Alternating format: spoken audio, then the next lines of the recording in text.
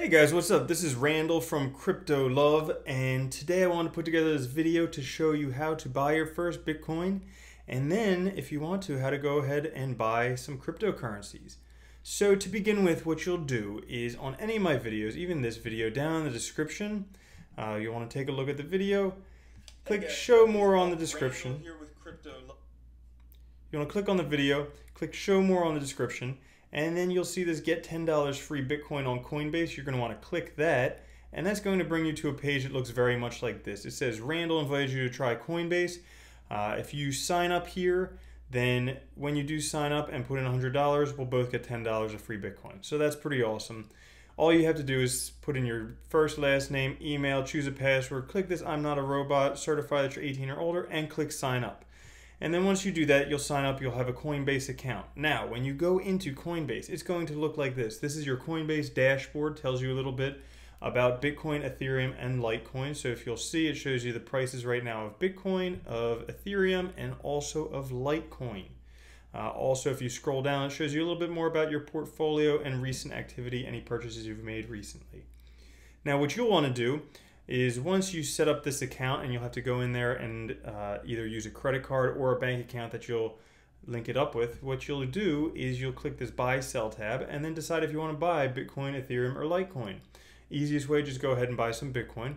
So you'll click on the Bitcoin but button, choose your payment method, and then choose how much you want to buy. Uh, you can either buy a fixed amount in US dollars or you can buy a certain amount of Bitcoin. Like if you want to buy one Bitcoin and hold one Bitcoin, that's how you would do it. Then, if you want to, you can repeat that by either daily, weekly, every two weeks, or monthly, which is great for dollar cost averaging. I have a whole video about that if you want to check it out.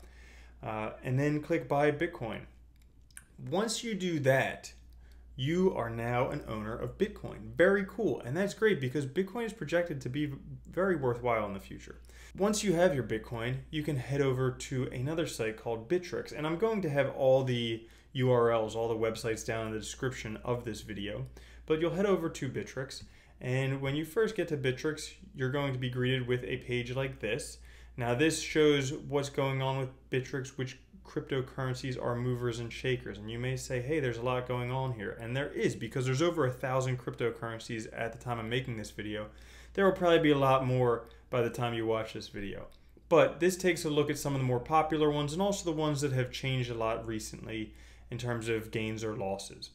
Now, in order to buy cryptocurrencies on Bittrex exchange or any other exchange, you're going to have to deposit Bitcoin onto that exchange. Now, you just bought some Bitcoin on Coinbase. Now, you need to deposit it on Bittrex. Well, how do you go ahead and do that? You're going to click on this Wallets tab. And now, for you, it's probably going to have Bitcoin up top because you haven't purchased anything yet. But for me, I have holdings in a lot of different cryptocurrencies. So if you need to, you can type in Bitcoin and you'll find uh, Bitcoin on there. You don't want to do Bitcoin Cash, you don't want to do Bitcoin Dark, you don't want to do Bitcoin Gold or any of the other things there. You want just Bitcoin, and the symbol is BTC, so you can make sure that you're buying, that you're exchanging Bitcoin. And you want to click this plus button. This plus button there is going to allow you to deposit Bitcoin into your account. And you just make sure it says deposit Bitcoin here. Now, right here is the address the uh, Bitcoin address of that account. You can copy that address and then go over to Coinbase and you'll go to your accounts tab. And with your Bitcoin, you want to click this send and then enter your Bitcoin address there. And you just want to make sure that the address here and the address on your Bittrex exchange match up identically because if they don't, that means the Bitcoin is not going to your Bittrex wallet and you won't be able to recover it. So you just want to make sure this is the most important part of all this. Make sure both of these addresses match exactly. All right, as long as they do, you can determine how much you want to transfer. And then if you click continue, it'll send it and that'll send that right over to Bittrex.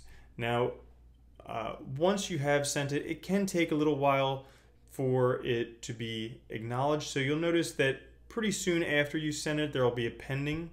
So I'll show you here. Looking at Bitcoin, uh, there'll it'll show up in this pending deposit pretty soon after, um, but it's actually going to take a little while, sometimes up to an hour or two for it to be available in Bittrex. And that's just because it has to verify on the blockchain multiple times that that transaction has been made. Now, here comes the exciting part.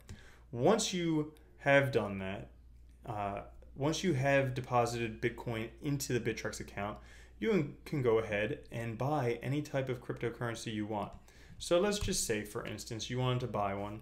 I'll just say Ethereum. Uh, now, Ethereum is one of the most popular cryptocurrencies along with Bitcoin. And you could just buy Ethereum on Coinbase, but I'm just doing this as an, as, as an example to show you what you can do. You're going to find Ethereum and you're going to click on the symbol there, so ETH. And then you'll get a chart that looks like this. Now this is the 30 minute candles. This tells us a bit about what the price action is doing. The easiest way to go and buy cryptocurrency is just to go down to this buy Ethereum and basically you're going to buy it at uh, at a limit. So people are asking for this much. You're just going to go to this ask right here. You're going to want to click on that. And if you click on that, you'll notice it comes up here into the price for Ethereum. Right now, one Ethereum is 0.06 Bitcoin. So then you can decide how many Ethereum you want to buy. You know, you could buy 100 Ethereum, but that's going to cost you 6.2 Bitcoin. So if you don't have that much, you could just do another thing where you could buy Ethereum based on how much Bitcoin you have. You could just click this max button and then it'll tell you exactly how much Ethereum you could buy with that. Once you've, once you've decided that you want to buy it, you just go ahead and click this buy Ethereum button, boom, and then you buy it and you own it. Now, last thing I'm going to show you today is a really good website for finding out about cryptocurrencies, about how much they're buying for, how much they're selling for, and a little bit more information about them. That website is called CoinMarketCap. You can go there. They have listed over a thousand cryptocurrencies in lots of different markets. This is the most up to date data. There are some other websites like this, but I like CoinMarketCap because it is one of the most generally adopted ones. And if you take a look at this, it has all of the coins listed in terms of market cap, which is basically the amount of the market that they take up. So you can see the first few we have Bitcoin, Ethereum, Ripple, Bitcoin Cash, Litecoin. But you can go down here and really you can research any of them. Uh, in terms of which ones to buy, your safest bet is staying towards the top of this market cap because as you get further away from there, they get they get riskier, they get to be more speculation. So buying ones that are up towards the top there uh, are generally safer. However, all cryptocurrencies are inherently volatile. Uh, you do want to contact your own financial advisor before buying any. I'm not a financial advisor. But I hope that gave you a little bit of information about how to buy Bitcoin, how to uh, start buying cryptocurrencies, and where to do more research about cryptocurrencies. So there you go. You have it. Have a good one. Peace.